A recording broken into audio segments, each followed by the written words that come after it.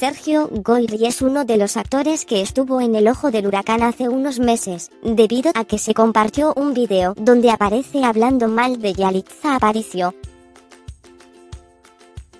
Racista y clasista fueron algunos de los adjetivos que los usuarios de redes sociales usaron para clasificar la actitud de Sergio Goyri. Sin embargo, desde aquel entonces, no se supo nada sobre el actor. Hasta ahora, Sergio Goyri está pasando por un mal momento. Sergio Goyri ha ofrecido una gran cantidad de disculpas de manera pública por sus comentarios sobre Yalitza Aparicio. Sin embargo, ni la gente ni los productores han olvidado el suceso que se viralizó rápidamente. Este 14 de noviembre, Sergio Goyri cumplió años, pero la celebración no fue nada agradable ya que sabe que, por ahora, no encuentra trabajo. Se especula que Sergio Goyri ha tratado de comunicarse con los productores de telenovelas, pero estos no quieren responderle debido a que no planean contratarlo.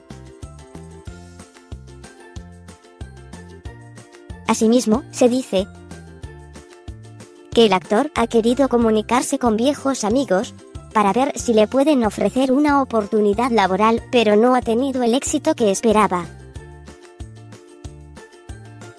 Las televisoras no quieren contratar a Sergio Goyri, ya que no permitirían que su imagen se vea manchada con la presencia de una persona que fue llamada racista por discriminar a una actriz de raíces indígenas.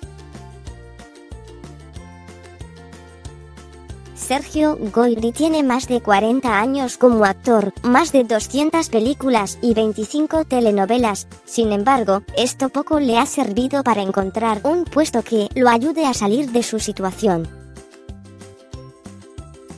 Telemundo fue la última cadena televisiva donde Sergio Goyri apareció, pero ahora se rumora que los ejecutivos no quieren saber nada de él.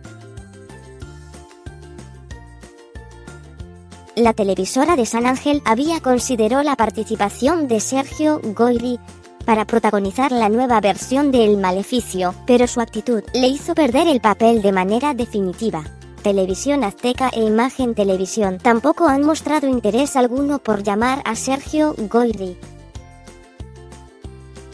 El actor sabe que la está pasando mal, por lo que no se atreve a producir una película por su propia cuenta, ya que esta quedaría marcada con el odio del público. ¿Qué opinas de la situación que vive Sergio Goyri?